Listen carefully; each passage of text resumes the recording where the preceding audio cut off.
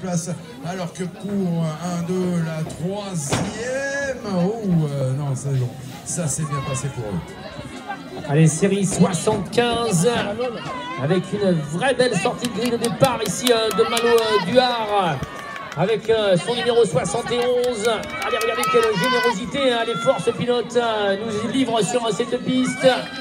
Alors que nous avons le 86, euh, Thibaut Maroc, pour le stade Montois qui occupe euh, donc la deuxième place.